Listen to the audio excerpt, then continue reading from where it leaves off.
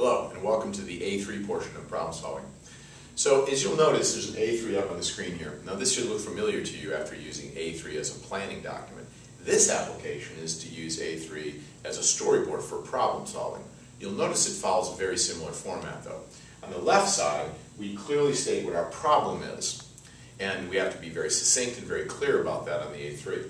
And after we state the problem, um, once again on the left side, current situation. In this case, the current situation is represented um, by root cause analysis using an Ishikawa diagram or a cause and effect diagram.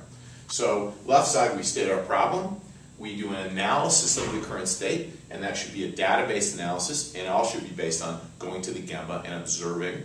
We create a picture that tells us the possible root causes of the, of the problem.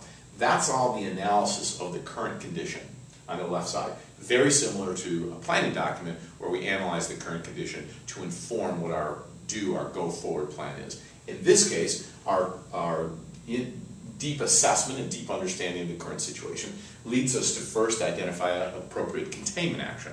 So we can contain the problem, stop the bleeding, triage, which does a very, very important thing.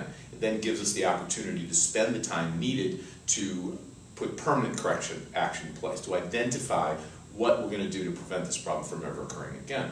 And of course, on the right side of the A3 is where we uh, uh, identify, in this case, our targets and our particular plan that we're going to do, starting with containment.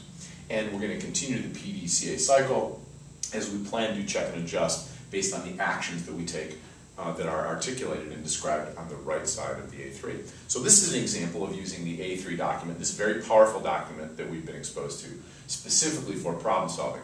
As you go through the on-site problem solving training and practice, you'll be using this document to record your observations of the current state, your analysis of the current state data, and your plan going forward to contain the problem and then eventually solve it at its root.